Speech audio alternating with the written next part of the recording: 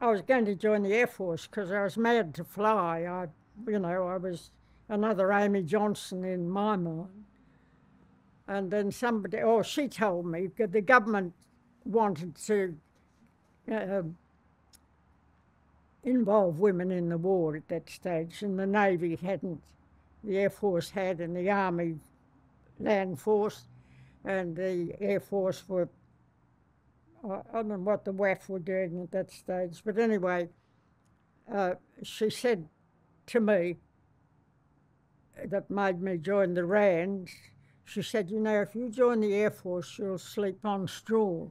But if I joined the WRANS, I'd sleep between sheets. So that was it. it's a mad story, but it's all true, I can assure you. Innocence. And so I joined the uh, the uh, Navy, the WRANS, and uh, they were, you know, the last to enlist women because they they uh, well, uh, you know, they're very traditional.